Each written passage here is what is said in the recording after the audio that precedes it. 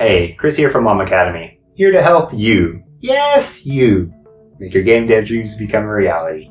Today's part 23 of the AI series where we're going to implement an instant cast ability, the Ice Lance. How that's going to work is we're going to set up a scriptable object that allows us to configure how many Ice Lances we'd like to shoot, and we will use those as instant cast abilities so we will not disable the enemy movement like we have done in the last two skills which by the way, if you've not checked out the last two videos, I highly recommend you check out those because we're building on the foundation we built in 21 and we modified some in 22 to generify some of the common functions that we use on the base skill scriptable object. So we have to write less code to accomplish using our abilities. There's links in the description below, so I highly recommend you check those out if you've not checked them out already.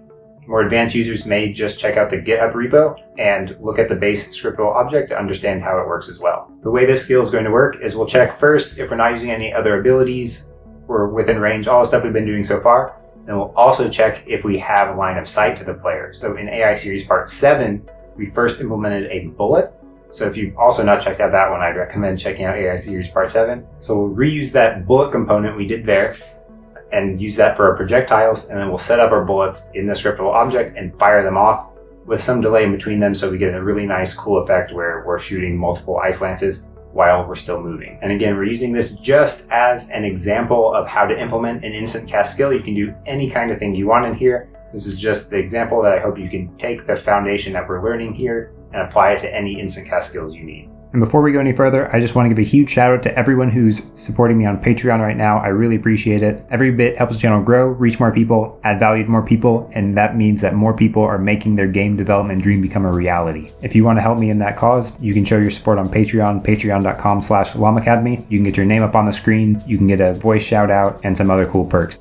In case this is the first video that you're watching in this sub-series about implementing enemy skills and abilities, we're using the free Unity asset Unity Particle Pack, which is actually made by Unity, to generate some of these effects. When we open up the Unity asset store and search Unity Particles, it's this first one, Unity Particle Pack, we import only the effect examples and disable everything else. It gives us a warning saying it's going to override our project settings, but if we disable the last checkbox here about the project settings, it won't do that. If we open up the effect examples folder, find the magic effects prefabs, we'll drag in the ice lance to see how this looks. So it looks pretty cool. It shoots out a large ice lance thing. It has a shadow effect and also has this little trail and some smoke and some mist or something like that. In this one, we're not going to use that particle system because what did we see? We saw that was just shooting a projectile that had a trail and some frosty effects around it. And we already have code in place to use and shoot projectiles. So I'll drag a bullet prefab into the scene. I'll drag the ice lance as a child of this bullet.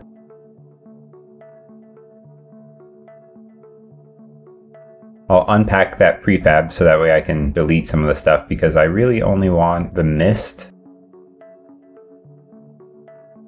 Then I'll select the model and change the model to be an ice shard. And when I click on a couple of the different models, I end up landing on the Ice Lance Low. That one looks kind of the best. The other ones are more the shard particles, I think. An explosion like on contact particles. So this one is the highest quality looking one. We're going to use this one for our projectile. I'll scale this model to be something like 0.5. I'll then select the root bullet object where we have the capsule collider and I'll readjust this to match the size of our new bullet. I'll also rotate the model so it's facing the right direction and kind of center that inside of our capsule collider.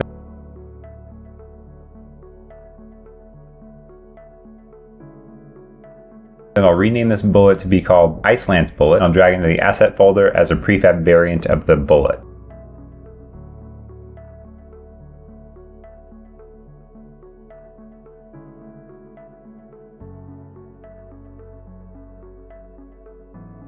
Then we'll open up the scripts enemy skills folder and create a new C sharp script called Ice Lance skill.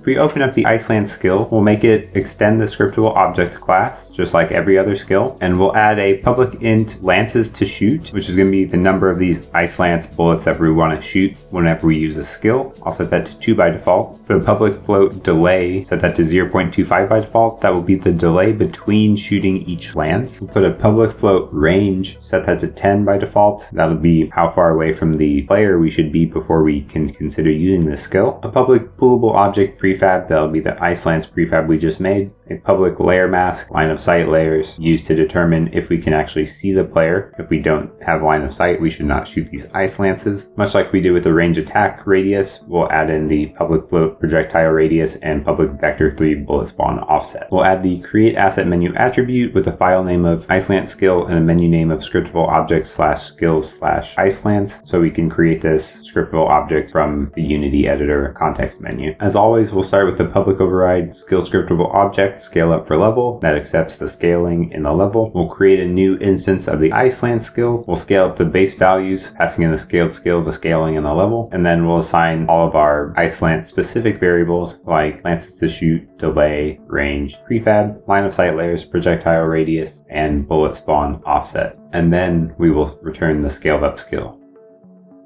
Next up, we'll define the can use skill, which is the public override bool can use skill, enemy, enemy, player, player, and int level. We'll return base.can use skill, passing in the enemy, player, and level, and remember that that checks if we're activating the cooldown and if we've unlocked the skill yet. And we'll check in addition to that if we're close enough. So if vector 3 distance, player transform position, enemy transform position is less than or equal to the range. And we also want to make sure that we have line of sight to the player. So we'll say and has line of sight to passing in the enemy and the player transform. This function is going to behave the exact same as the range attack radius does. So check for your line of sight. We'll do if physics.spherecast, passing in the enemy transform position plus the bullet spawn offset for the starting location, the projectile radius. Then for the direction, we'll take target dot position plus the bullet spawn offset minus the enemy position plus the bullet spawn offset, and then we'll normalize that. We'll pass out a raycast hit with the hit, pass in the range and the line of sight layers. If that hits something, then we'll check if it has a damageable component on it. So we'll define an I damageable. We'll say if hit.collider try get component I damageable passing out the damageable. If that returns true, that means we did hit something that has a damageable component on it, and we will return the damageable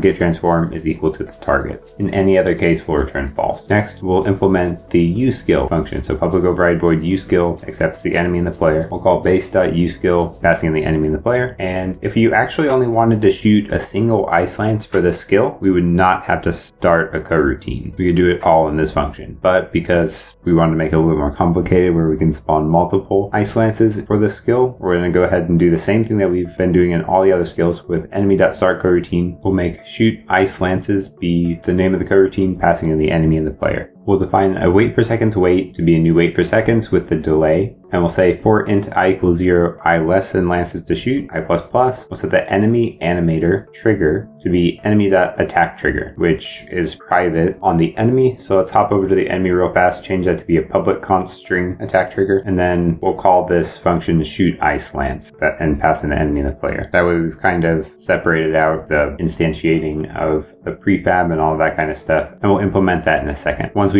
spawn that ice lance and it's going to do its thing, we'll yield return the wait to wait for the next time that we should shoot an ice lance. And after we spawned all the ice lances, we'll do use time equals time dot time and set is activating to be false. Since this is an instant cast skill, I don't want to do those things that we were doing in the fire breath to disable the enemy movement. That's not required because they should be able to move and shoot, or I would like them to move and shoot. You do the exact same thing we did in the fire breath to disable the movement if you would like them to have to stop to shoot. Now let's define the shoot ice lance function.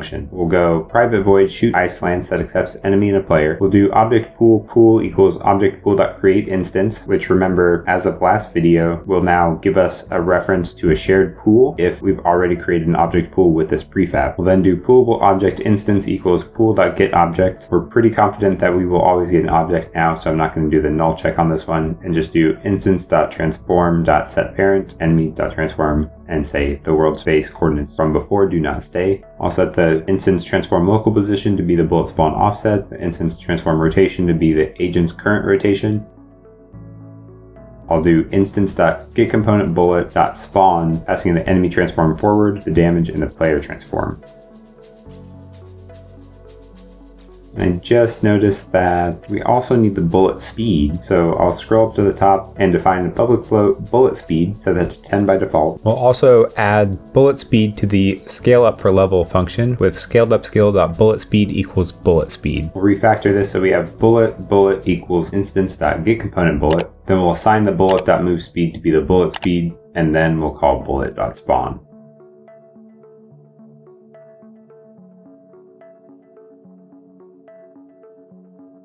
If we hop back to the Unity editor, I'll right click on the project panel, create scriptable object skills, Ice Lance. And in the inspector, I'll assign the line of sight layers to be player, default, and floor. I'll drag our Ice Lance bullet variant to the prefab.